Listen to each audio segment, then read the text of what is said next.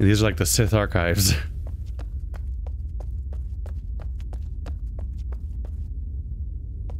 Hole? No?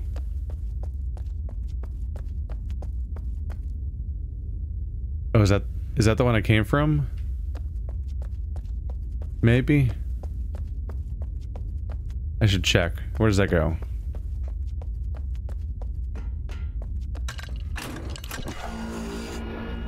Ah, this is a new different room.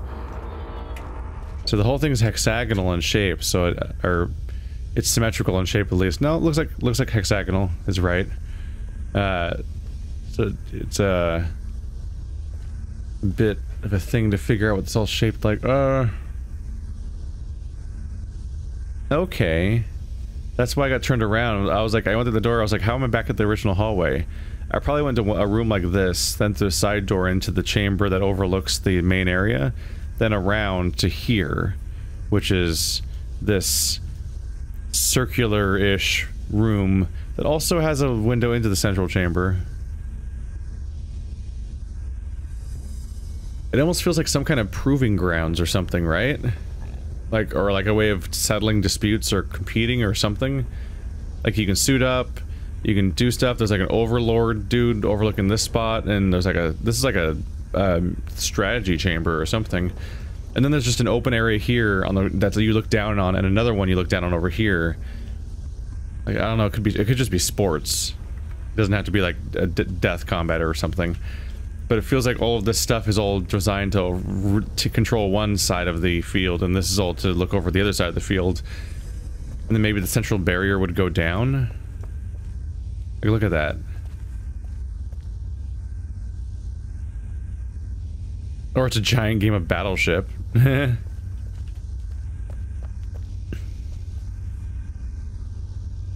making progress. I've found a lot of these now. I gotta keep a close lookout around this place though, because like that's... I, uh, this is, a, this is a really big facility. And I just wandered into the exact room that has that in it. They put it here because this is here, huh? Because this might teleport me somewhere else. Simpson. Don't mention anything about the upper area of the fortress in your uh, garrison report. I don't want people wandering all over Teledahn looking for that weird linkstone. Sharper. The upper area of the fortress. Alright, well now I know about that, and I know that there's a... There's a linkstone. Thanks, Sharper. Useful information. Analysis. Author. Simpson. Transcribed from voice recorder. Age. Garrison. Uh, November 12th, 2001 to June 4th, 2002. Multiple trips. Okay, one thing seems immediately obvious. This place was built for security. No one could write a link anywhere in this place, or the next. It was obviously a maintainer facility of some kind, and it doesn't seem that it was for general guild members. But that by that, I mean it was limited to at least the higher ranking members. As to how they got the first link written here, I don't know. Probably while it was under construction. It does seem pretty obvious that it's not going to happen again, unless something major happens to this place. I should say that Kodama has some theories about the age that have been that have held up so far. May have been a special forces of a sort for the maintainers started later, mid 8000s, because somewhat of a I uh, became somewhat of a research and development arm for the Maintainers Guild. I don't know. Worth mentioning, though. There are quite a few mentions of such groups in other docs Kodama has found, or at least seen. Entrance. To begin with, I'd wager that there is no one other than a high-ranking, uh, I'd wager that none that no one other than a high-ranking uh, government official or similar uh, ever even made it to this room. That's just my guess, but it seems pretty sound. I don't think any school buddies or girlfriends dropped by to see their maintainer friend. The linking book we found was deep within the maintainer guild. I'm sure it was well guarded in its day. You can see right off the bat the entrance was extremely secure. Thick walls, one door, a high window, sniper, maybe. If you manage to get in with a bomb or something, it's not going to do any noticeable damage. I love the maintainer symbol on the floor and everywhere else you look. As though I might forget and wonder where I am. Waiting room. So, visitors are escorted into this little waiting room. There's a window on one side, almost like a ticket window. Maybe turn in weapons or goods that aren't allowed. Maybe books. I'm sure they didn't want books in here. Yeah. Looks like mainly for books. This is another ticket window on the other side, although this one looks different. I'm pretty sure those are beetle cages on the other side. Beetles that sought out ink. Somebody was just telling me there are all kinds of references to them in the other docs. You didn't make it past this room with a book. So they had they had like sniffing dogs for books, but it was beetles that are attracted to ink. As well, the doors never open at the same time, so even if somebody if somehow you make it out of the entrance room, you're still not going to make it past three mammoth doors out of the waiting area. Halls. Looks like the hall ran along the entire circumference of the building. There are plenty of rooms. I'll just try to hit them one at a time. First is an elevator, though. However, looks like it's only down. Wonder if it was always that way. More security, I guess. Once you've made it into the halls, there is still nowhere to go. At least if they didn't want you to going anywhere. Lockers. I would think that any books that were brought to the age were kept in the lockers. I'd imagine that some of the workers here, or frequent visitors, also kept some equipment, but I could be wrong about that. Looks like they kept some maintainer gear as well. Markers, helmets, etc. Seems a little out of place, honestly. Keys. Okay, things are becoming a little more clear now. Just had a long chat with Laxman and research some different docs over in the city that Nick had. Looks like the current condition I'm seeing was not the original condition.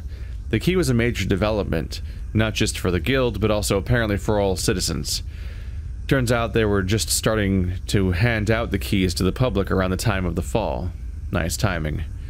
So it looks like they had done some renovations in order to facilitate the mass amounts of visitors that would be coming in order to retrieve keys.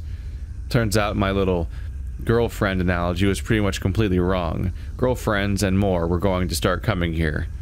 At least to the open sections. Kodama corrected me. We've actually found multiple books in the neighborhoods, as well as the guarded maintainer book I mentioned earlier. Whoops.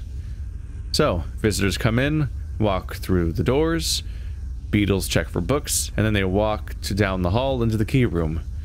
Get a key, and link out. Guards were probably at the up elevator, which is just behind the room. If they did happen to bring any illegal items, they get them back from the other side of the locker room and off they go back home with their new shiny key. Makes more sense as to why the maintainer paraphernalia was in the locker rooms too. Probably a little display type thing for all the visitors. Impress them. Warehouse. Quite a bit of goodies in here all of which I'm sure most visitors never saw. Pretty bad cave-in from the floor above, although Engberg says structurally the place seems alright. He's doing more detailed inspections soon. Looks like most of these crates are filled with key maintenance type equipment as well as a variety of spare parts, etc. I don't know. Laxman will have to give you this place a good inspection. I'm sure he'll love getting through it all beyond me. I know that. Beetle cages. Convenient cave-in. Not sure how one is supposed to get in the beetle cages without it. No idea how they did it. Link, maybe.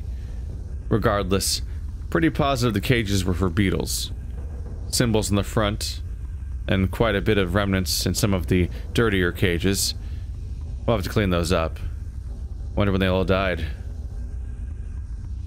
Speaking of access, another question. How'd they get to the second floor? Elevators skip the middle floor. More security, I suppose.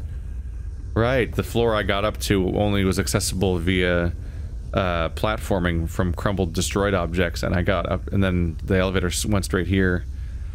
Although the front elevator was not usable, I don't know. Second floor. Destruction was a little more substantial than I thought. Looks like it tore out a section of the outer wall even.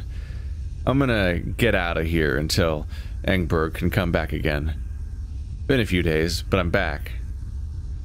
I'm no expert, so I guess I have to trust Engberg, but he says this whole thing is one of the most solid, heavy pieces of construction he's ever seen. It's safe, he assures me. If I die here and someone retrieves this recording, please sue him for me. Second floor looks similar to the first. Outer hall and a number of rooms. Have to remember that very few people probably ever walked these halls. There is no access via elevators, stairs, anything to get here.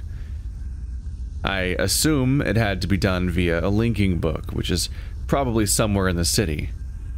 I suppose there could be a way to stop those elevators on the middle floor, but I doubt it. Regardless, this floor was extremely secure. Book access only, I'm guessing. If I were to take a guess about how they get the elevator stop there, if it is possible, it might be your credentials that can determine it. If you you have to you need a key in order to use the elevator, but if you have the key they're giving out publicly, then you're you know part of the public. So you probably, or, but if you have a security key, you might be able to go on the, on the second floor, and so on. Who knows? Guard lounge. Next to the observation room. At least that's what I assume it was. Is what it looks like, a, a guard lounge. Looks like they stayed here for long amounts of time. There are beds in here, as well as couches. I assume these guys manned the window and observation post while visitors were coming in. Guard lockers. More lockers. Similar to the set downstairs, although these are manned with some heavy equipment. I'm sure Watson will want to see this stuff and keep it locked up well. In fact, I'm not even going to go into detail about it here. Laxman's going to write all about the stuff in a later report. I will say I didn't know that D'ni had all these kinds of technology. Gear room. Now I see why this floor was so secure. Looks like the whole power structure for this building is here. Amazing construction. The entire building looks to have been powered by some underground water source that caused it to turn. They implemented a gear that would grab onto the teeth of the ground in, outside and provide the, them a power source as well. Talk about killing two giant birds with one stone. Pretty amazing. Power looks somewhat complicated. Seems as though there were at least occasions that power was turned off, as there are obviously controls to do that, and start it again. I'm heading to the top. Top. Wow. I thought this building was big. The main portion's absolutely giant, and rotating too, of course. I'm overcome with the amount of work put into this place just for security. It's everywhere. Almost comical, picturing government officials walking the same paths I am. Amazing.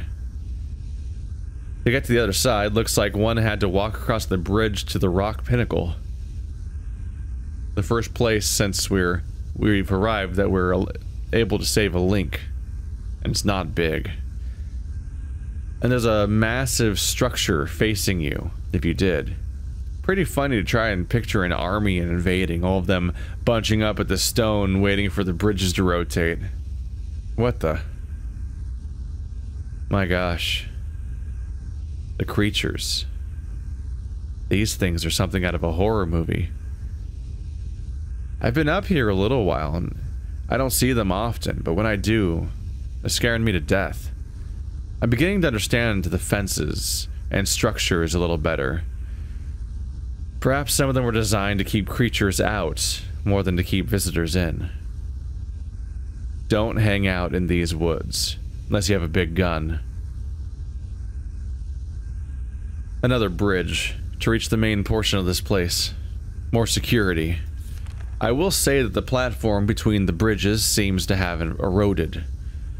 At one time, crossing the bridges was probably a security feature to ensure manageable groups would approach the larger building one at a time. But I would wager it was erosion. Uh, I would wager it was still a lot easier than it is now. The erosion to the platform between the bridges has made it a little tougher.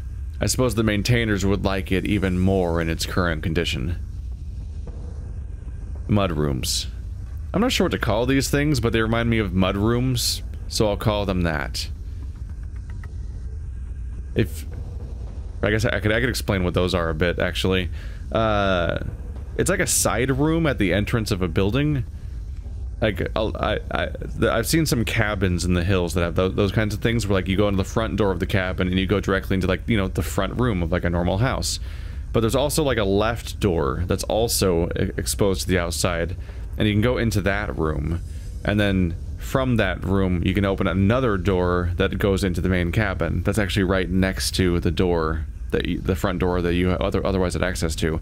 So when you're inside the house looking at the front door there's two front doors that lead to two different places one directly outside and one to the mud room which kind of it suffices as what you'd expect. It's it's like a dirty room. It's got you don't you really have carpet. You have like a you have more dirt friendly flooring and stuff like that. And you keep like uh, hardware and so on. For us it was snowshoes sleds skis and stuff like that because we were up in the mountains. Uh, and then you know shovels other things that are useful for snow stuff like that it's a place you could walk into with all your gear and then get all your gear off before you walked into the main house and tracked like snow and mud and dirt into it and so on. And also you could dump off all the heavy weird shit that you don't really want to take in the house. Not much here. Looks like each bridge has a mud room attached to it with another group of doors, etc. There doesn't seem to be any kind of decompression or decontamination that went on here. Really, they seem to be nothing more than another spot for another set of doors, another secure location. Training Center. I was going to go through each of the rooms here, but after making a quick overview, I think I'm just, I'm just, I'll just start with the entire thing. There are three types of rooms in this building, two of each kind. There is a control room, one purple and one yellow, a display room, one purple and one yellow, then a conference room. Though these aren't colored. I assume there is one for each team. The entire building seems to be centered on the massive wall in the middle. The control rooms control the wall. The display rooms display the uniforms that were worn in the wall, I presume. And the conference rooms allow the government visitors and high-ranking officials to confer about their training on the wall. See? So control rooms first. I'm not going to go into controls for the wall in this doc. I'll let Laxman do that at some other time. Regardless, the panel here obviously controls the wall. The wall was used for training as well as testing of various suits.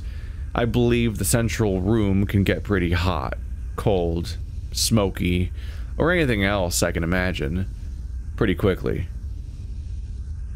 It was a competition. Whoever could get to the top was the quickest. Teams would set up the obstacles and members would race. There's a side tunnel that provides access to the display rooms from the control room. Display rooms.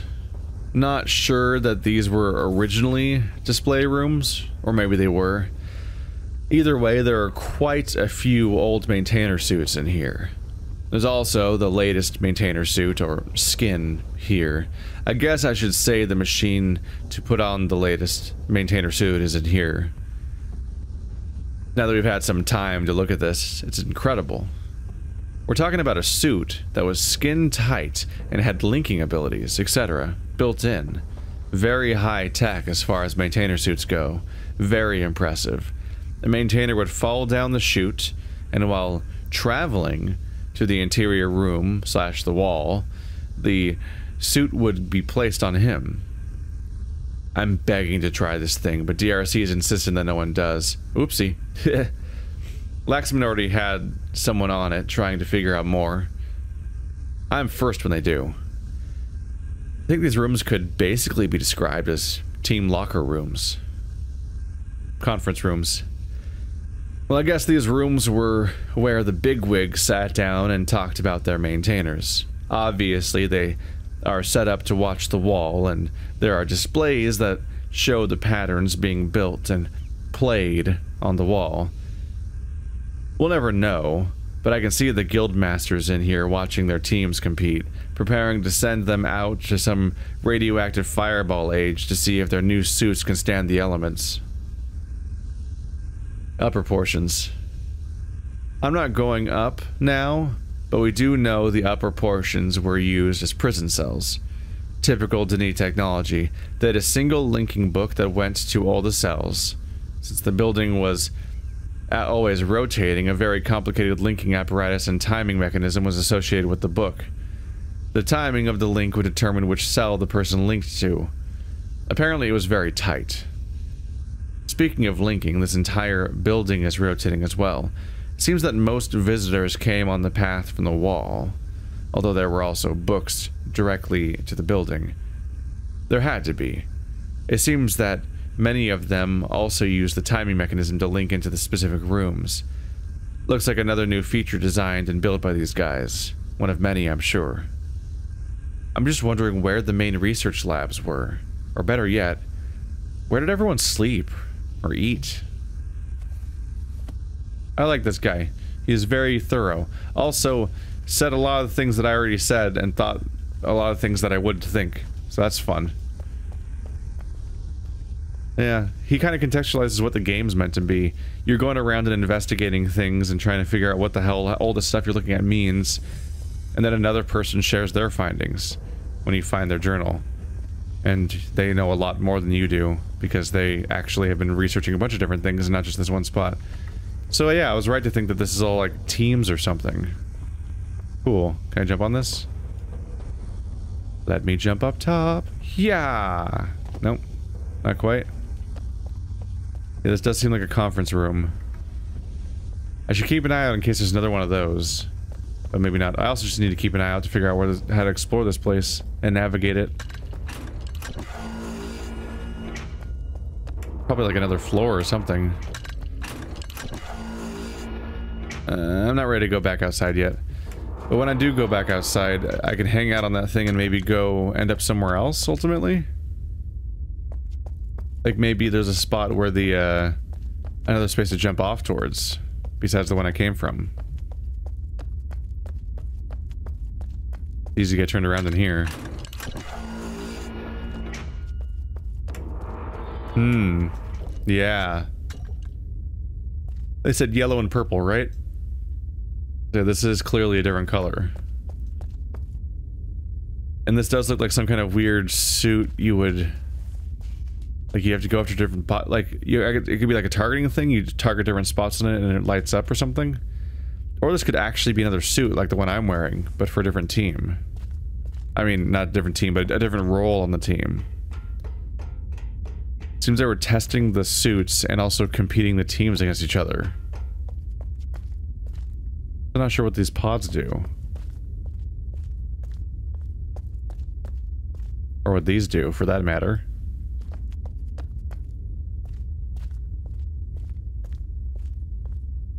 What does the wall do? Is it a grid of things that light up to show you how they're performing in the battle that's happening on a different location? Oh, and you said that whoever gets to the top of the wall wins. They're supposed to climb the wall? Is that what the implication I'm supposed to think? Why would they climb a vertical sheer wall? And why why would that be the only thing in this room? Or is it first to the top? It could because...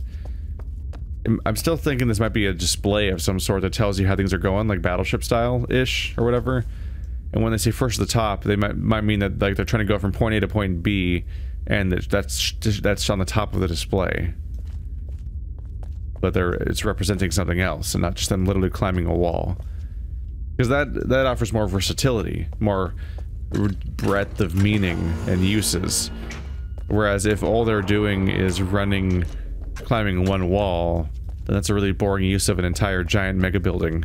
Just, this is the place where we keep the wall. That's all it is, a wall. That'd be an underutilization of the space.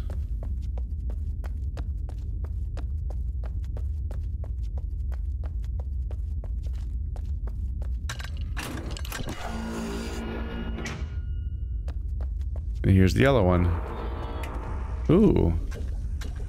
A few other things are turned on here. You can see over here displays of the grid, which makes sense because they're in a little bit of a shittier angle to look at these. So these are duplicate displays of the grid itself on the wall. Until I see it in action or something, it's hard to glean what it does exactly, but this might be a another journal that helps explain. There another mark in here? I kind of figure not. Oh, shit. I hope I didn't miss one of those. I'll have to keep, I'll have to thoroughly look around just in case. That's just sitting in a chair. It's easy to miss.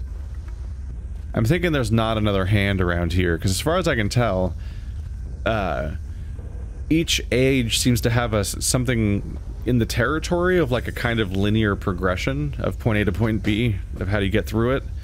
And I think that you find seven uh, journeys along the way. It was a bit less like that the first time around when we were in uh, New Mexico. They were they set me up for this idea that I just have to find seven ones that are kind of just scattered around a map. Like some of them had to be found in a certain order just because there was a, there was a progression through the zone, but some of them were just kind of around and kind of not even useful locations. Uh, so I kind of thought it was just like seven collectibles at that point. But now that I've seen this chapter and also the the hydroelectric dam looking place that I went through, or whatever it was, uh, at that point now I'm thinking, oh, there's like there's one of those hand prints, one of the journey things per zone, basically. Because they're progression. You found the next building. You found the next puzzle element. You found the next, like, new concept. Here's a hand thing. It kind of gates your progress a little bit, or uh, tracks your progress. So it'd be weird to find a second one in this floor of this building. There might be one, like, upstairs or downstairs if I get to go there. Or wherever I go next. That seems to be the pacing so far. Key.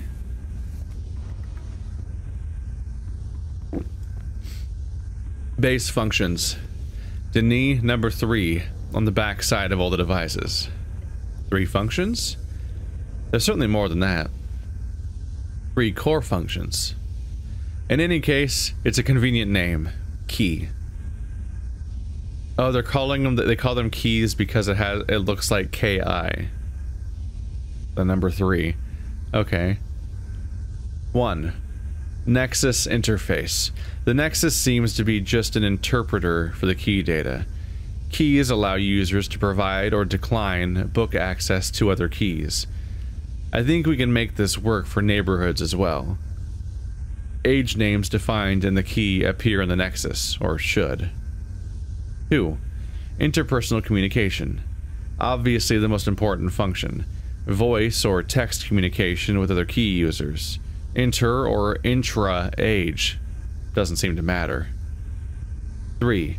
Image capture, storage, and transfer. A single button press captures an image and stores it within an appropriate age directory. Images can be sent to other keys as well as uploaded to, to some imagers, depending on versions. Seems main servers coordinated this functionality. Might be tough to revive. Oh, reference to the game being not online. Journal entry, storage, and transfer. Fairly simple. Write notes and store them. Again, server handles transfer journal key to key or key to imager. 5. Markers. The ability to drop and collect markers at the opponent's present location in an age. Layers of functionality here. Requires more research. Perhaps this feature could be tapped to help with the GZ problem. Interesting. I can drop markers? Hmm. 6. Doors. In this age, the key, even at its most basic level, opens level 1 doors. Level 2 and level 3 doors require higher versions. There's much more variety to these devices than we first suspected. The dispenser is capable of handing out at least 5 versions and possibly more. Feature sets varies widely. There must have been a system to control and track these devices. Where? Imager built into the unit is surprisingly compact and efficient. Uses the same blasted lattice compression system, for lack of a better word. Have to crack that. Powerful projection for something that fits on the top of a hand. Markers. Purpose. Perhaps a training tool for maintainers. Markers could be set up and recruits and or lower ranks run through the course. Interface. Keys interact with markers in three ways. Team capture. Once all the markers are placed, there are two teams that can collect markers. Key registers the marker to a respective team. Marker can vanish after a time limit or after all have been uh, registered. Markers must be in same age. Test. Can markers be reset? Hold. Against two teams. Markers only vanish after a preset time limit has expired. Markers do not disappear upon being activated, although server keeps track of what team is holding it. Server summarizes team holding most markers at the end of the time limit. Markers must be in the same age. Single capture. Only one individual key can register markers. Markers also carry text. Entire marker set can be sent via key to another key anywhere in the system. Markers can be placed in any age. Markers themselves seem identical to those produced by the Great Zero. In fact, I'm positive the same technology is being used, if not the Great Zero itself. It's possible the keys are communicating with the Zero itself and writing these marks anywhere they're registered. Problems with that theory? Maintainer markers, etc. Key registration. Key tracks of other keys on three levels. Intra-age. Any other key within the age is logged and displayed. Key to key. Any individual key can be registered for specific tracking. As a result, no matter where the key is, journals, photos, etc. can be sent and, and communication can occur. Perhaps this was used for temporary or semi-permanent team missions. For our purposes, uh, friends list. Groups. The key also register recognizes groups somehow related to the Nexus. Seems possible if properly configured the support neighborhood lists with this function. There are two support neighborhood lists with this function. Alright, so this kind of seems like an in-universe explanation of all the online mechanics of the game that is I'm playing currently playing offline for the most part, but a few of them are relevant to me. Mainly the door opening and shit. I'm still not sure what's going on with this game. Or how it works. There must be like, they must go to another age, right? Or do they play here? I wonder if you could play the game. It feels like the implication might be that you can actually play said game, uh, like in the game using your key. Like you could do something that drops markers or something. Especially since these are like, are those the three functions you were talking about, maybe? I'm wondering. I'm wondering if you could play this, like, this weird competitive sports game in the middle of Myst, because that's just a weird thing to include in a Myst game. Now there, where do you take me?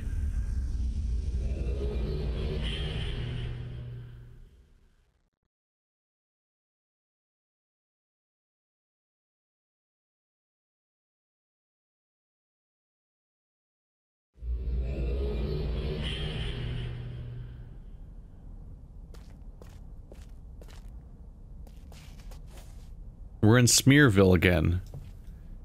Where the sky is smeary.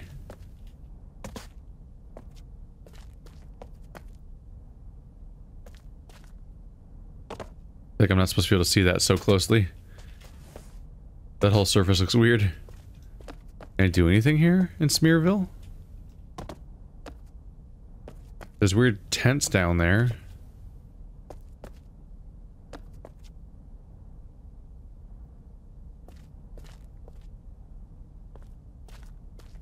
That's not a very nice game. Making a... linking a book to nowhere. You guys like to do that, huh? Alright.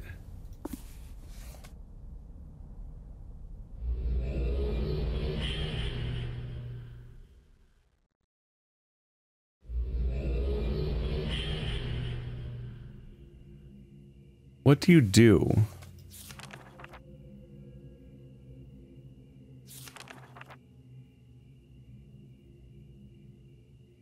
What those mean.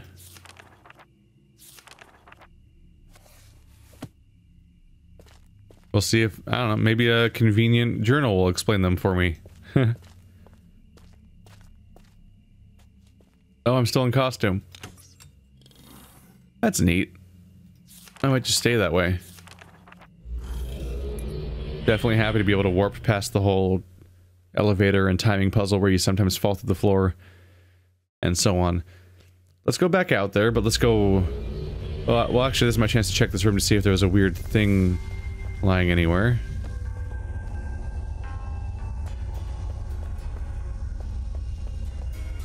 No, the chairs don't seem to have anything on them. Well, it's good to know I probably didn't miss anything. Alright. I will now go clockwise, because I just went counterclockwise a moment ago.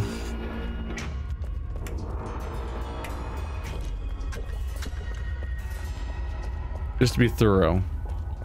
There could be some weird random detail where like a chunk of the environment's broken or something, or there's a weird hole somewhere, or anything like that. So that's the entrance to the battle arena, or whatever. Whatever you want to call that. I have I have most likely been everywhere now. I almost said arguably, but no. This should be the team. So this is the first place I went into. Yeah. And so that's the one I, I came in through. And so I guess this will take me right back to where I just was when I got trapped.